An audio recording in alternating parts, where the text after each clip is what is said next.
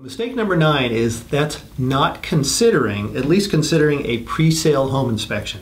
Now you may say, well, doesn't the buyer pay for the home inspection? The answer is yes, almost every buyer will pay for a home inspection. Uh, the advantage to you of getting one beforehand, there, there's multiple advantages.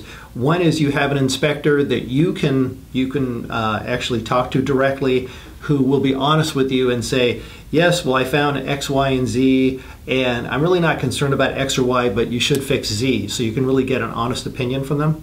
Uh, the next thing is that if there are repairs needed, you're not going to be under the gun during escrow to get estimates and try to guess what the cost is and maybe figure out how much a credit will be. You'll have time in advance to do so.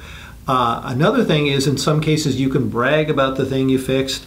Uh, you know, perhaps, um, oh, well, not that you'll want to put a new roof on, but let's say that the house needs a, a, new roof and you put one on, then you can advertise brand new roof and that should help you get a higher price for your house as opposed to the buyer finding out that the roof is bad during escrow and asking you to put a new roof on and you do it and you don't get anything extra on the price.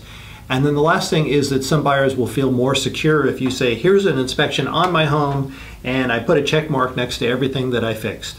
So uh, that should help you. Call us at 858 457 Kent. That's 858 457 5368. Or check us out on the web at garykent.com.